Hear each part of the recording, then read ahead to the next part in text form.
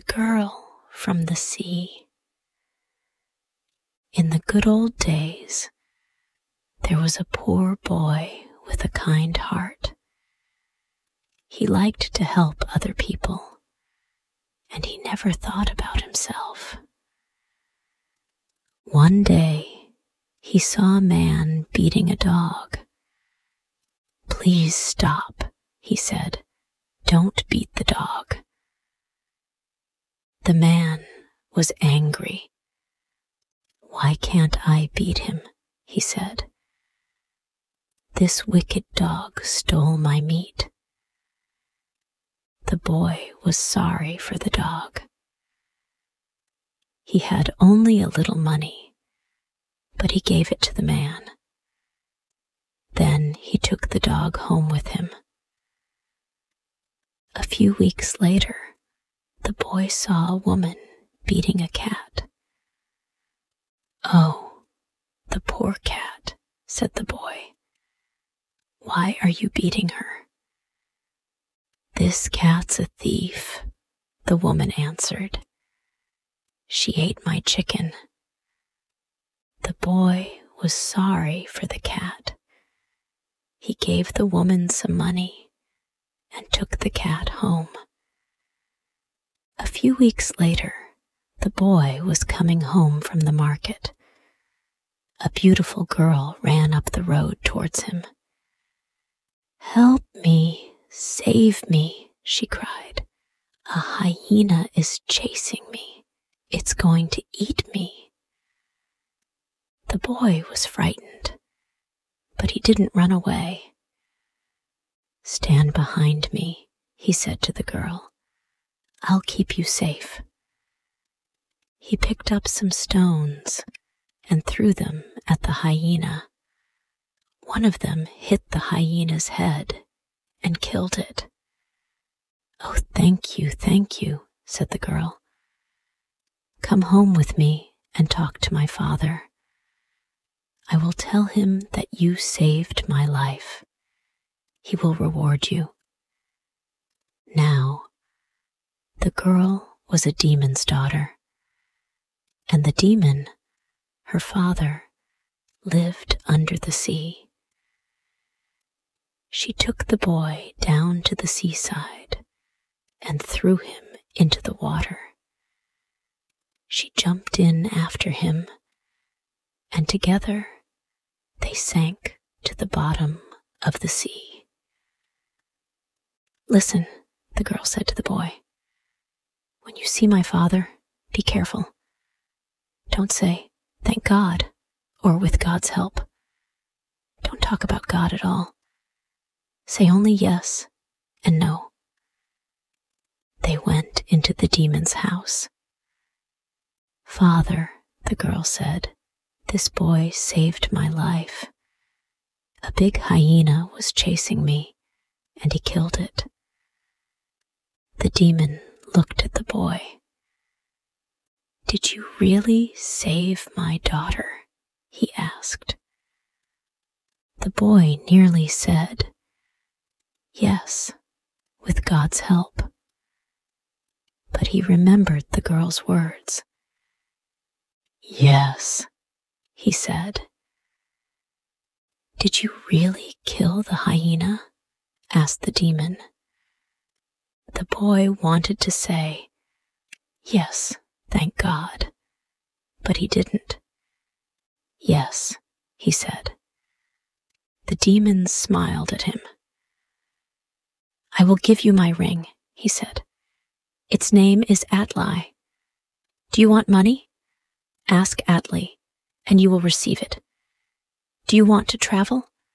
Ask Atli, and it will take you on your journey. The demon's daughter smiled at the boy, too. Look after Atli well, she said. It will be a good servant to you. The boy thanked the demon and his daughter and said goodbye to them. Atli, take me home, he said. At once, the ring took him to his house. his mother was waiting for him with the dog and the cat. Where have you been? she said.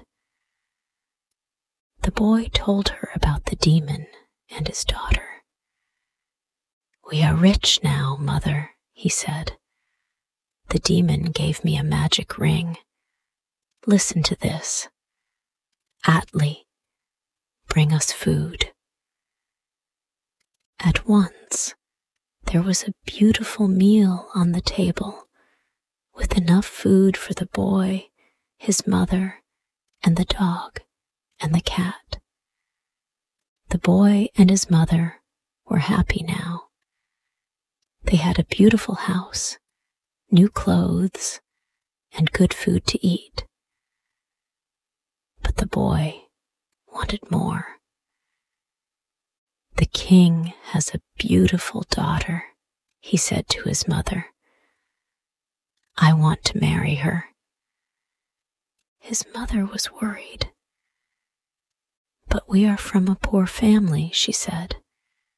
We don't know the king. How can we ask him for his daughter? Let's try, her son answered.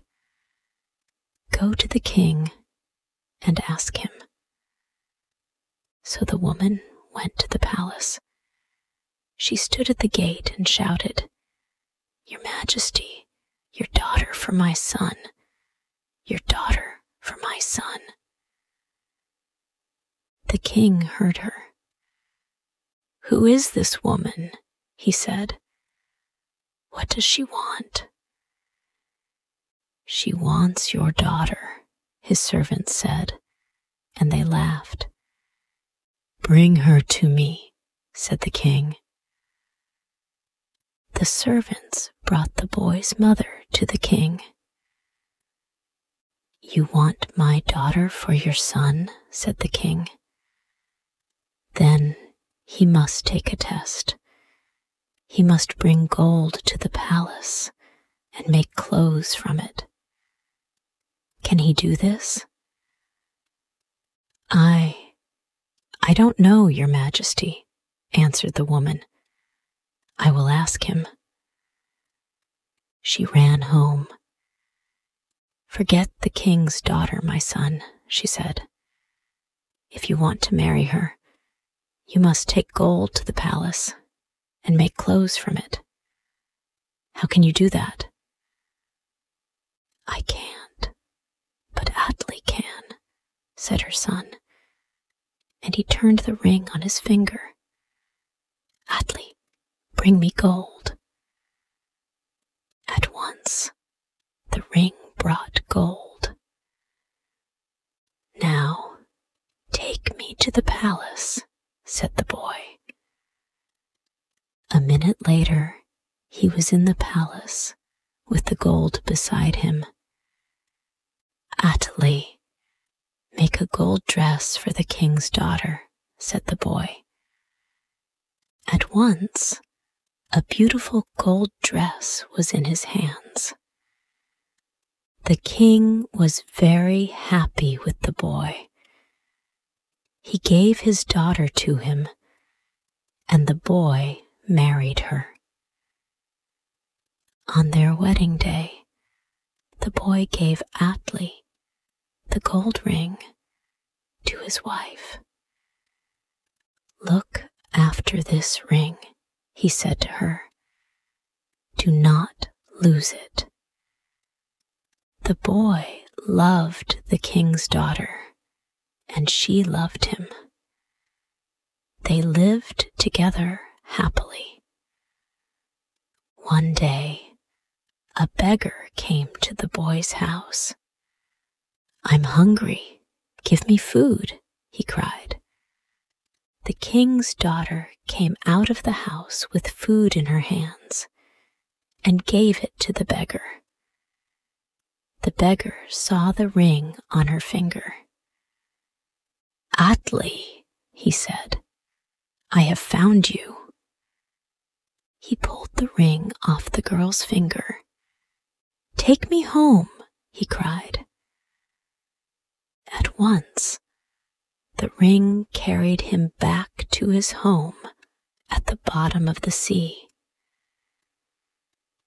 The boy and his wife had no more food and no more gold from Atli, but they lived together happily with the dog and the cat for the rest of their lives.